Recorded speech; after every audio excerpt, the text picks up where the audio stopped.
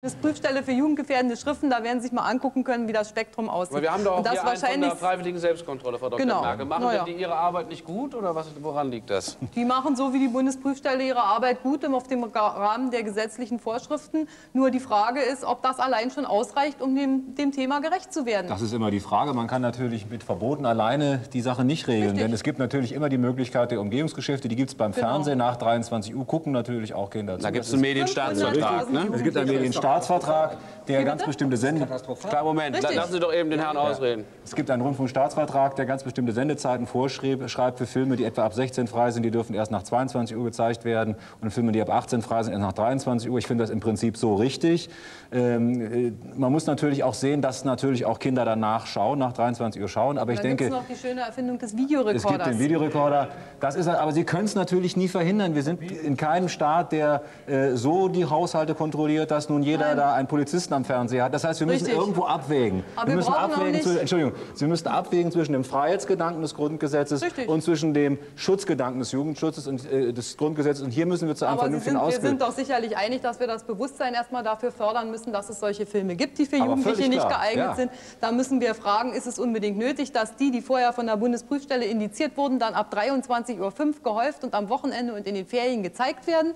Und wenn dann noch die Begründung kommt, eigentlich seien die gar nicht mehr so schlimm, die seien nämlich 1975 schon indiziert worden und heute finde man die gar nicht mehr schlimm, dann kann ich nur sagen, der beste Beweis dafür, dass die Gewaltspirale sich immer höher dreht, das alles kann nicht in unser Interesse sein. Das lenkt uns aber nicht davon ab, dass natürlich die Eltern auch verantwortlich handeln müssen, gerade mit ihren Kindern. Das Frau Merkel, das ist, sind zwei Seiten.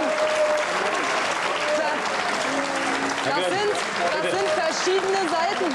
Aber natürlich, natürlich müssen wir auch an den Straßen Vorkehrungsmaßnahmen treffen, Ja. obwohl man auch sagt, Eltern sollen ihre Kinder an der Hand halten. Und Aber das Fernsehen muss ist kein Ersatzerzieher. Und, äh, nein, natürlich ist es kein Ersatzerzieher, aber Frau Monsen-Engwerding hat es gesagt, welche Formen von Gewalt gezeigt werden, haben Sie sofort gesagt, das finden Sie auch nicht in Ordnung. Das Ja. finden wir aber, da leider auf den Videos und Profis. Filmen. Wir haben doch die Justiz, die die Verherrlichung von Gewalt ahndet. Warum überlassen Sie denen denn nicht das Geschäft? Weil wir die Oder wir haben die künstlerische- Bundesprüfstelle. Ja, weil wir genau diesen Abwägungsprozess ständig zu treffen haben und ohne den mündigen Bürger im Gespräch mit dem mündigen Fernsehproduzenten leider nicht auskommen, wenn wir uns diese Abwägung Wenn Sie das Gesetz nicht wollen. in Ordnung finden, dann ändern Sie das doch im Bundestag. Nein, jetzt Und dann, passen Sie auf, jetzt Sie nehmen Sie doch die politischen doch, Wege. Erst haben Sie die gesagt, ich will die- was verbieten. Das ist doch und das okay, fänden wenn Sie das fänden Sie Eingriff des Staates und jetzt erklären Sie mir, wir müssten die Gesetze verschärfen. Das allein bringt nicht die Lösung des Problems.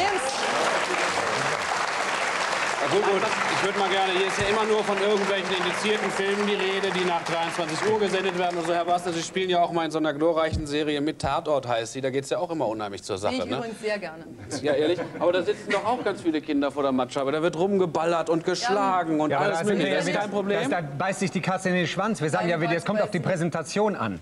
Richtig. Das, was mich interessiert, weil wir äh, im dritten Teil sind, denn- wir sind im dritten Herr Teil und Herr wollten ja die gemeinsamen Herr Konsens finden. Ist denn Genau, die das Präsentation im Tatort so viel. Langweiliger, dass die Kinder abschalten oder woran liegt es denn Antithese, dann? Synthese. Also, wir kommen jetzt mal zu den Maßnahmen. äh, Richtig. Sagen Sie Da doch wir- mal. ja. Sagen, eine kleine Antwort. Ich sage es ja. Schön. Da wir ja nun Räuber und Gendarmen nicht mehr spielen, weil Karl May vorbei ist, Richtig. haben Sie, und jetzt diese Spielchen ja draußen weitergehen, haben Sie vorhin selber gesagt, es gibt eine Abstumpfung. Ja. Eine Abstumpfung, also das heißt, das Kind empfindet es vielleicht auch nicht mehr als so grauenvoll, wenn es dort dann plötzlich also... Ja, doch, ich würde mal äh, sagen, also äh, das, das würde ich Beispiel. nicht sagen. Kinder Aber lassen Sie uns einen gemeinsamen Konsens doch finden. Ja. Sie sagen zum Beispiel in Ihrem Vortrag, sagen Sie, der normale Zuschauer sollte Mitspracherecht haben. Darf ich Sie Richtig. fragen, was ist der normale Zuschauer? Der Durchschnittliche, der an so einer Umfrage Wie? teilnimmt. Das heißt doch Sie, aber der dann normale, sofort, der, mit dem gesunden Menschenverstand. Das heißt Richtig. doch dann sofort, der mit dem gesunden Volksempfinden. Das heißt sofort, Oh, der Sie. mit dem Oh, ich Gleichheitsgeschmack. Ja, aber das Äh, heißt es doch, der äh, normale aus Zuschauer. Ihrer Sicht, was ist naja, der? nun wollen wir mal sagen, Ja, aber was ist der normale Zuschauer? Es gibt, es gibt nur der- individuelle Zuschauer. Ja. Jeder hat einen anderen Geschmack. sicherlich hat jeder einen anderen Geschmack, aber Es gibt keine normalen Zuschauer. Ja. Und es gibt, und trotz alledem gibt es, gibt es äh, Mittelwerte und die sagen eben, dass es äh, Zuschauer in einem bestimmten Spektrum gibt, aber das sind Zuschauer, die eben zu bestimmten Zeiten die Fernsehsender einschalten. Ich meine, jeder Zuschauer sollte zu einem mündigen Zuschauer erzogen werden. Ja. Und dazu sollte er Mitspracherecht Ja. haben. Und heute ist es so, dass keinerlei Gremien existieren, in denen die Zuschauer Mitspracherechte haben, außer dass geguckt wird, wie, viel, wie hoch die Einschaltquoten sind. Und danach orientieren sich die Sendeanstalten, weil sie meinen, da wo am meisten Einschaltquote ist, so muss, in der Richtung muss man weitermachen. Und das ist aus meiner Sicht eine ziemlich verwerfliche Entwicklung, wenn man Frau sich Merkel, allein daran orientiert. Auch richten Sie sich nach Und da sind im. Übrigen Auch. die, und da sind im Übrigen die Filme von Dr. Herrn Merkel. Nur noch einen Satz zu Herrn. Schlingensief. Da sind im Übrigen die Filme von Herrn Schlingensief nicht dabei.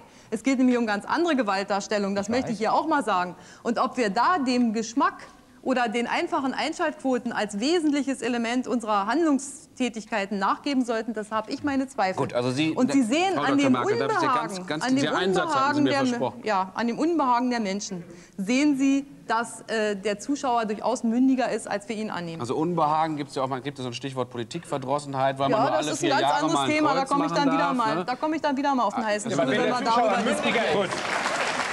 Wenn der Zuschauer Moment, mündiger ist, Herr brauchen wir keine Selektion. Herr Basner, ich wollte mal jetzt noch mal ganz kurz darauf zurückkommen, was hier gesagt wurde. Sie sagten, das sei die Ge Ge Spirale der Gewalt sei dadurch deutlich, dass es eine Abstumpfung gegeben hätte. Ich habe während der Vorbereitung eine Kritik gelesen, in der hieß es, eine Gesellschaft, die solche Filme sieht, die muss total krank sein.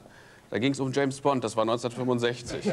Sehen Sie, Abstufung. Würde heute keiner mehr sagen. Ist doch ganz klar. Ja, sind Sie der Meinung, dass James Bond-Filme verrohnt sind und dass wir krank sind, Nein, wenn ich wir glaube, James dass Bond wir. sehen? Ach, das ist doch gar nicht der Punkt. Ich glaube, dass wir in eine. Ja, ich glaube, dass solche Äußerungen aus, von vor 10 oder 20 Jahren uns deutlich zeigen, dass wir in unserem, in dem, was die Reize ausmacht, wie Herr Grimm sagen würde, äh, ganz deutlich äh, die Schwelle immer mehr anheben. Und da ich davon ausgehe, dass dieses, was wir sehen, auch Folgerungen auf unser Verhalten hat, halte ich das für gefährlich. Das ist ja meine These. Und in der Gesamtheit müssen wir darüber sprechen, dass eine gewisse ähm, äh, höhere Gewaltbereitschaft oder eine Senkung der Gewaltschwelle und eine Akzeptanz, dass man seine eigenen Probleme mittels Gewalt löst, dadurch produziert wird. Das ist das Problem. Ja, darüber können wir sprechen, aber das ist praktisch ein Appell zur Enthaltsamkeit. Zur Nein. Enthaltsamkeit, das Fernsehen Es ist einzuschalten. Und das, das, das ist ein Gespräch unter Pastorentöchtern. Das können wir ja Richtig. gerne eine tun. Enthaltsamkeit kann, kann Sie, man eine sitzt hier, nun sind Sie Sachen wahrscheinlich aus. kein Pastorensohn, deshalb Plus wird das die- ein bisschen schwierig jetzt. Aber Die, nein, ich, ähm, meine, ich will damit nur sagen, dass, das sind fromme Wünsche, die Sie äußern. Das ergibt sich ja weiter nichts daraus. Ja, was schlagen Sie denn vor? Was schlagen Sie denn vor?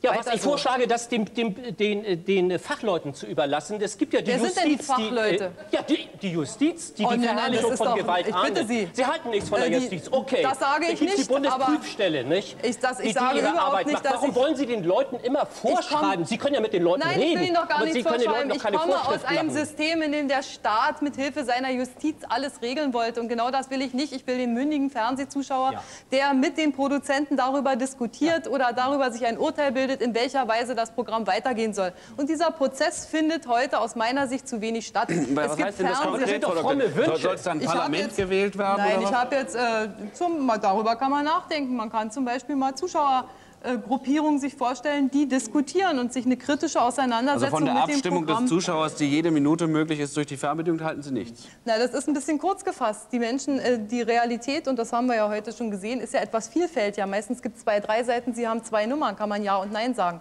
Und da halte ich unsere Bürger eigentlich für ein bisschen intelligenter, dass sie da noch ein bisschen mehr einbringen. Jein noch, oder vielleicht. Nein, ich glaube schon ein paar Sätze, so wie wir uns für eine Dreiviertelstunde Oder? Ja, die kann man Thema so schlechter mit einer Abstimmung machen, ein paar Sätze. Ne? Sendet, Eben. desto besser, dann kann der Zuschauer, der mündig ist und sein sollte, selektieren. Warum? Das braucht man doch nicht regulieren. Ne, darum geht es ja nicht. Es geht darum, Genau, doch, darum geht Natürlich, es. also ich will, doch nicht, äh, ich will doch nicht die Zahl der Sender wieder einschränken. Ich frage mich Nein, Sie nur, möchten nur einschränken, was Sie senden dürfen, oder? Nein, auch das möchte ich nicht einschränken, sondern ich möchte, ich, ich stelle die Frage, ob das, was heute gesendet wird, die Vielzahl von Gewalt und die teilweise auch Verherrlichung von Gewalt, dem entspricht, was unsere Bürger, äh, also was die Bürger erleben Also und was ihre Realität ausmacht. Unternehmen, mein Gott Ja. nochmal, das ist doch alles Es ist längst ja schön, dass wir die abgehakt. Das ist Justiz haben, die keine keinerlei Erziehungseinrichtung des Fernsehens. Aber die Justiz Mein hat... Ich darf Ihren. Dialog noch einmal kurz unterbrechen. Ich Ja. möchte das Ergebnis unserer zweiten Ja. Umfrage, es wird Sie Da freuen, Frau, Frau Dr. Merkel. Äh, Wir hatten gefragt, unsere Zuschauer, ist Zensur nötig? Sind andere Maßnahmen nötig? 74,1 Prozent sagen ja. 25,9 Prozent sagen nein. Herr Schlingen, Sie, ist Herr Schlingen, Sie eine Bankrotterklärung. mit welchem Des Film wollen Sie auf dieses ja. Ergebnis Er möchte antworten? gerne mitreden und Sie Frau lassen Sie Merkel, nicht, weil Sie sagen, die Frage an Fachleute. Herrn Schlingen, Sie noch los. Mit Nö, hab welchem Film wollen Sie denn darauf antworten? Was kommt jetzt? einen neuen Film gemacht, Terror 2000. Der kommt jetzt im Herbst raus und der handelt über Rostock, die Nazis. Meine Mutter war ein Nazi, mein Vater war ein Nazi, ich bin ein Nazi. Alles wird gut, wir sind aus einem Blut. Und äh, da geht es dann auch um das Deutschland, was Sie versuchen zu disziplinieren und was Sie nicht disziplinieren lässt, weil Gewalt nun mal eben, glaube ich, nicht nur vom Fernsehen sozialisiert wird, wo die Sozialisation nicht nur vor dem nur. Fernsehen stattfindet, nur, sondern wo ganz andere Sachen sind. Und was ich noch sagen will, ist einfach, wenn Sie äh, sagen, James Bond 65, die Kritik heute was anderes. Die Leute können mit Filmen mittlerweile anders umgehen und Sie machen die Leute unmündig. Es ist für mich immer ein Groll zu sehen, wenn Leute meinen Film plötzlich als bare Münze nehmen, wo die Tricks so schlecht sind und das Blut so wahnsinnig rot. Da Also würde ich ich nur glaube, die sagen, Gefahr, dass Sie Ihren Film als bare Münze nehmen, ist bei mir relativ gering, obwohl Sie mir gerade gesagt haben, ich mache die Leute unmündig. Das stimmt doch gar nicht. Die Leute können durchaus an Eine Dreiviertelstunde Streit um Gewalt im Fernsehen ist vorbei. Meine Damen und Herren, der heiße Stuhl geht mit gutem Beispiel voran. Am kommenden Dienstag sind von uns jedenfalls keine verbalen Kraftakte, Gewaltakte zu erwarten. Wir melden uns erst wieder in 14 Tagen und ich hoffe, Sie sind dann dabei. Tschüss.